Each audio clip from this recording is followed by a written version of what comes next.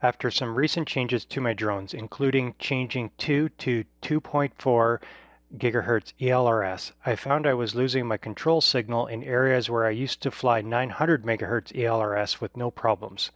As such, I decided to do a range check with different antennas and frequencies. Is completely unscientific with a number of uncontrolled variables, but it was a nice spring day for flying, so I did it anyway. I kept my flights to a maximum of 500 meters in distance and flew roughly the same elevation as the power lines beside my flight path.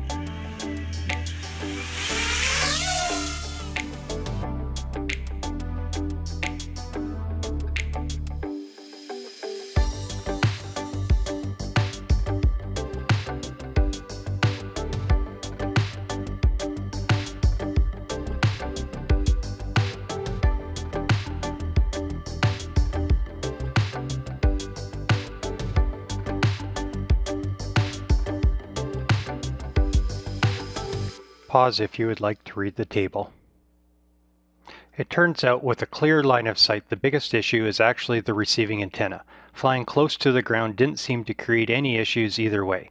I did notice some glitchiness when I turned the drone around, presumably the carbon fiber frame blocking some of the signal, more so on the 2.4 GHz rather than the 900 MHz. I will need to do this test again, but even closer to the ground and with some trees or other obstacles to see what impact different antennas and frequencies will have. If there's a specific combination you would like to see, let me know. Until the next time, thanks for watching. Why did you have to crash? It happens.